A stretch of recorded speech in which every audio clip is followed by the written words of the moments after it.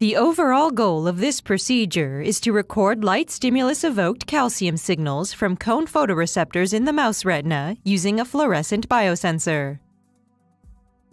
This is accomplished by isolating the retina from a transgenic mouse line that expresses genetically encoded calcium sensor exclusively in the cone photoreceptors. The second step is to cut vertical slices of the retinal tissue.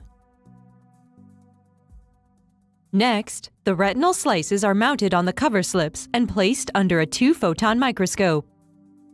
The final step is to record calcium signals from the individual synaptic terminals of cone photoreceptors in response to light stimulation.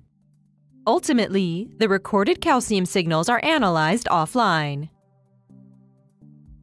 With this method, we can record the activity of many cone photoreceptors simultaneously at subcellular resolution. This is the main advantage over existing techniques such as electrical single cell recordings, which are more difficult and time consuming. So the question that we would like to address is if and how calcium is involved in photoreceptor degeneration.